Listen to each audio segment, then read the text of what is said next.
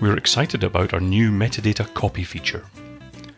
It allows users to enter metadata into a single file, then copy that data and paste it into other files.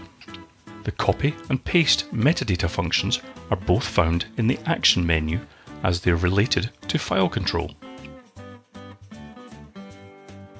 For example, here we have a file with some metadata. In the Action menu, we can see the Copy Metadata function. By clicking this, we'll copy the metadata. By deselecting this file and selecting the target files, and selecting the Action menu again, the Paste Metadata function will be visible.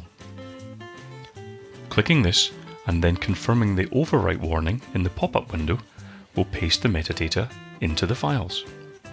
It will take a second or two for the metadata to appear. Refreshing the browser or deselecting and selecting the files will show the newly pasted metadata.